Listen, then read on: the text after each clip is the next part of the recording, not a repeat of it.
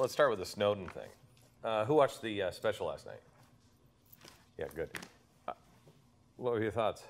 NBC built it up as uh, patriot or traitor, and you had to choose one. It was like, uh, I mean, I, I, think there's probably a gray area in there, but I mean, he came across uh, better than I would have ever expected him to. I just think he he spoke um, in measured tones and accurately, and um, that that segment on the cell phone where Brian Williams said, "What can be done," and he said, "They own you." and they they can turn it on. And you know you don't think that they care about your sports scores but they do. And who you're next to? The NSA the Russian intelligence service the Chinese intelligence service any intelligence service in the world that has significant funding and a real technological research team can own that phone the minute it connects to their network as soon as you turn it on it can be theirs they can turn it into a microphone they can take pictures from it. They can take the data off of it. But it's important to understand that these things are typically done on a targeted basis, right? It's only done when people go, this phone is suspicious. I think it's being held by a drug dealer. I think it's being used by a terrorist. Can anyone turn it on remotely if it's off? Can they turn on apps?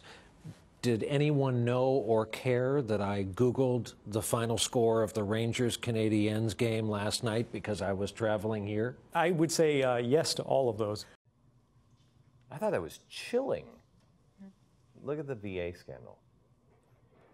The VA scandal, they're going to try to turn this into, well, see, we tried that private sector idea where we give you bonuses and uh, you'll make money on that. And that's why we can't have any of that. No, no. You know what the real problem is? There's no one to run to.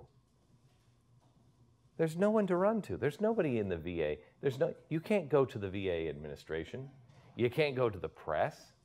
You can't go to Congress. You can't go to your you can't go to your CO. You can't go to anybody.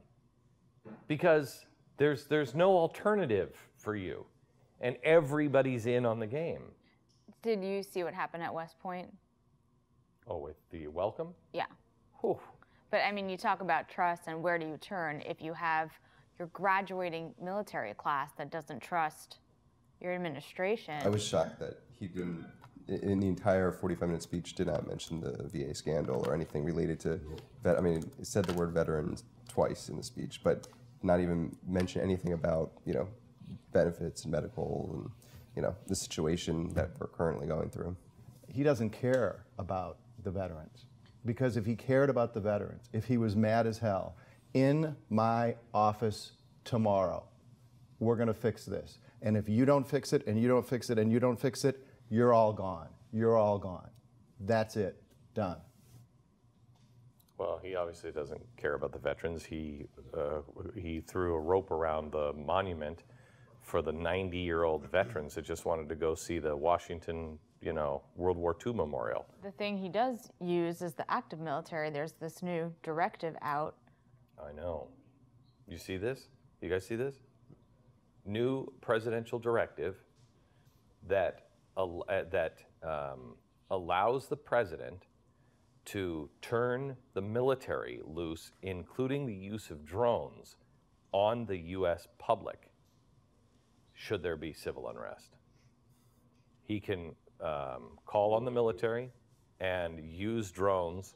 They are not to be armed drones at this time. Because just because we have the biggest hammer doesn't mean everything's a nail. He's got a phone, just he's saying. got a pen, and he's got a hammer. Oh, just one other thing on the speech. I, I, it was just interesting in the same day that Snowden speaks out for the first time in a year the president, even in that speech, was talking about transparency, and we're going to you know have more transparency when it comes to drones and and surveillance. And it's like, it, it, I mean, even the New York Times editorial board wrote that uh, that part was ludicrous. His administration had to be dragged into even minimal disclosures on both topics. I mean, it just it, it's it's amazing that he's even talking about transparency when nothing's been done in this last year since the Snowden revelations. There's no way for this to last. That Montel Williams interview. Most honest interview I've ever seen. I've, I've never seen someone have that much passion about a topic and just want to be heard. That's all he wanted was to be heard. You know what's incredible? Is about three years ago, I said, we got to put our swords down and we have to start coming together and we have to start looking for people who we don't agree with because there will come a time when we will start coming back together. And now to see it happen is incredible. When we start really putting that together, 70% of this nation is back and united. And, th- and once the government figures that one out, watch out because they will accelerate all of the dark stuff that they're doing. And I think um, we should definitely uh, hit on the um, the brain chip that DARPA's developing um, to treat uh, PTSD for the military. Uh, I think they're says it's five years for away from a prototype or something like that. But given the context, we're talking about all this information gathering, what they already have on us, and you know, you look at the events like this uh, UC uh, Santa Barbara shooting, and then something like this where they're going to be monitoring your brainwaves within five years. They say this will be the cure for PTSD and depression. They've got $26 million going towards this program Who to implant in their right brain mind? chips. Who in their right mind would do that? It is 1984, a brave new world, minority report. We are living in a time where all of these things are actually becoming real. Just the precogs are a computer, not in a milk bath. Heavenly Father, we come before the unbended knee this morning to um, praise you and to thank you for another day, another good night's sleep, for good friends and good coworkers, a great country, and the understanding that so few in the world have of what freedom really is. We would ask, Lord, that you would um, protect those who are trying to do their best. We would ask that you would open our hearts to see the goodness and decency in others.